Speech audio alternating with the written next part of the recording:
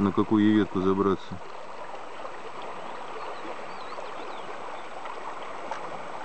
Ну, здесь, наверное, роддом какой-то. Ну, похоже на то. Судя по оставшимся шкуркам вокруг. Ну, в общем, на этом, за этим можно смотреть бесконечно, на самом деле.